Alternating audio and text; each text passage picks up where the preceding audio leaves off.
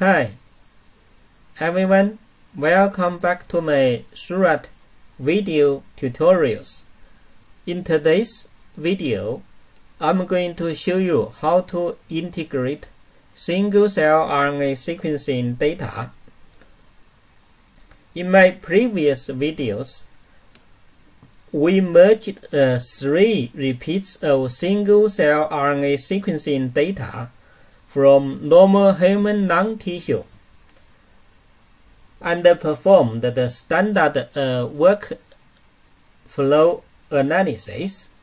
So we all knew that there are experimental variations and this is why we always design experiment with at least three repeats.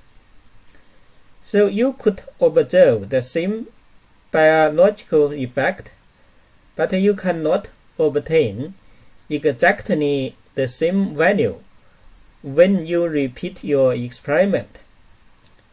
In single-cell RNA sequencing data, we call these experimental variations as batch effects. So Seurat developed data integration method to correct the batch effect between experimental repeats or different experimental conditions. So we can have a look at the uh, cell clusters from our uh, standard analysis. So we can uh, use the dim plot function to have a look at the cell clusters from our standard workflow analysis. So uh, you can see uh, we have 18 cell clusters in our Seurat object.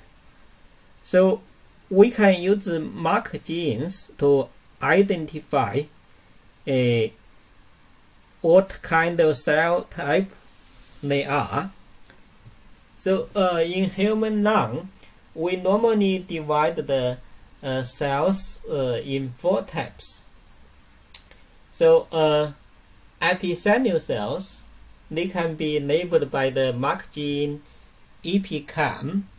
Uh, endothelial cells, they can be labeled by the mark gene CLDN5 and the collagen 1A2 we can use it to uh, label mesenchymal cells and the PTPRC we can use it to label uh, immune cells.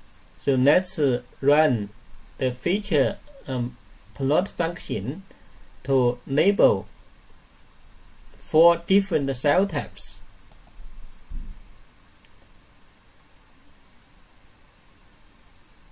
We can zoom in again. You can see here are uh, epithelial cells, here are endothelial cells, here are uh, mesenchymal cells. The rest are uh, immune cells. Let's have a look at the metadata again for the analyzed Seurat object. So uh, you can see in the first column. So when we create the Seurat object, we uh, give a project name for each repeat, AML1 for repeat 1, AML2 for repeat 2, and uh, AML3 for repeat 3. So uh, in the dim plot function, we can group uh, the cells with their origin ident. So we, in this way, we can identify the cells from each repeat. So let's run uh, the dim plot again. So now you can see Cells uh, from repeat 1 are labeled in red color, repeat 2 are labeled in green color and repeat 3 are in blue color.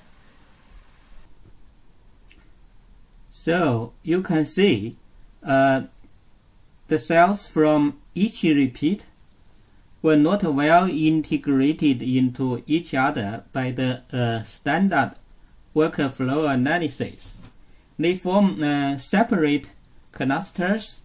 This is the reason that we need to perform integrated analysis uh, to correct the batch effect.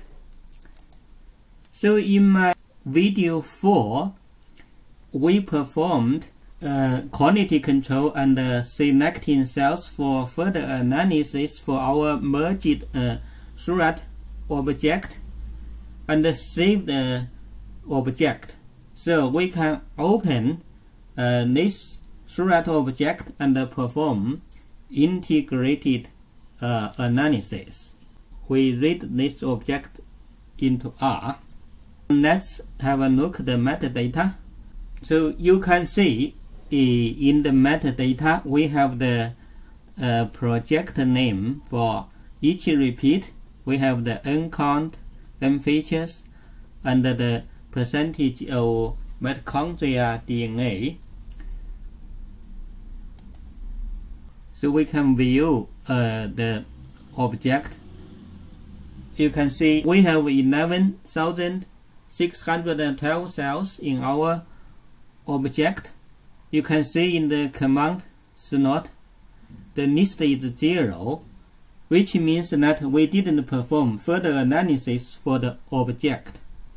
Okay, uh, to perform data integration, uh, first we need to create uh, an object list with uh, three repeats.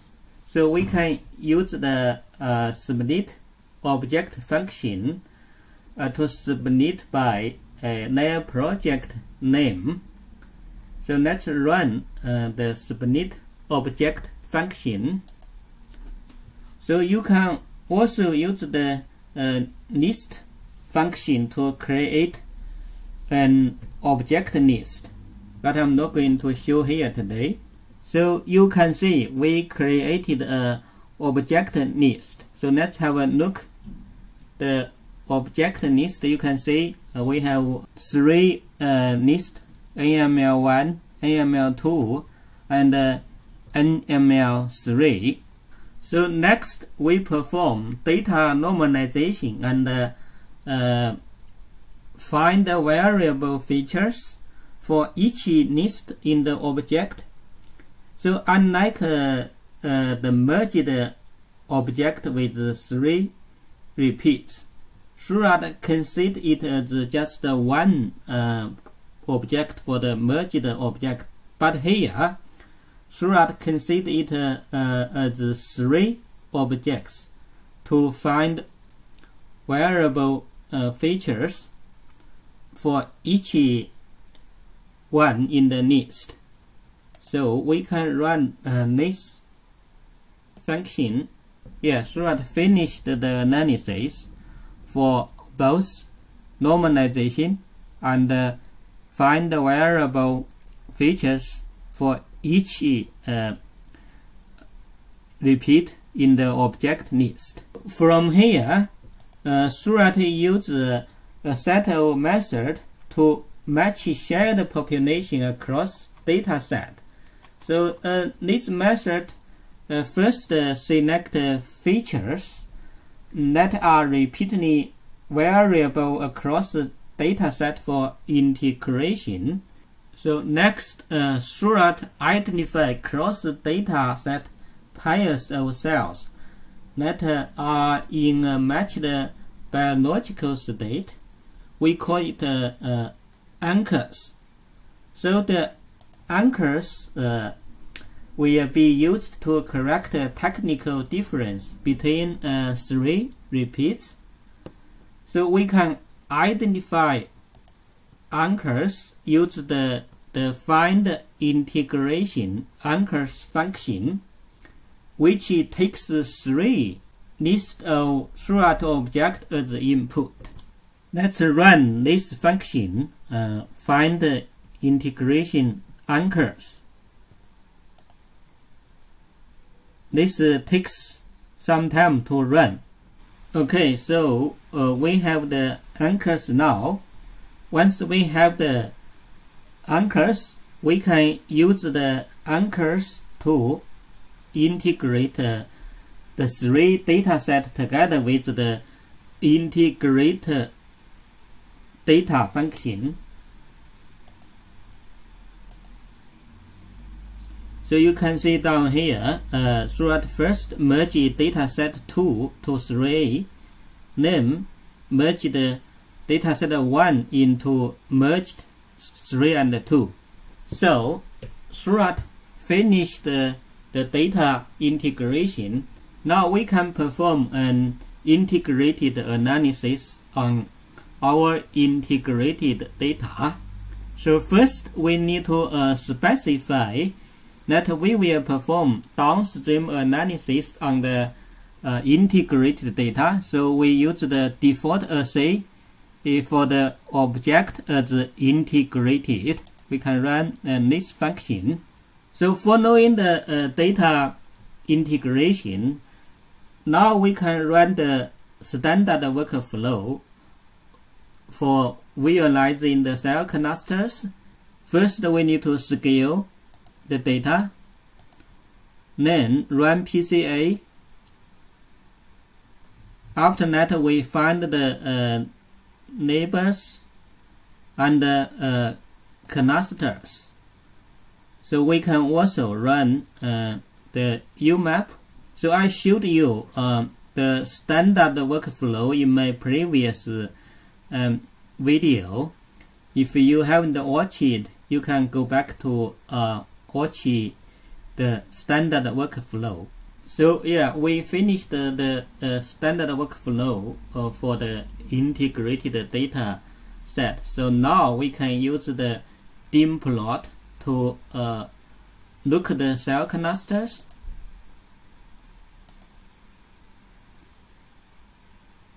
So you can see uh, we use the uh, same resolution as the uh, previous standard workflow analysis 0.3 uh, let's zoom in to look at the cell clusters.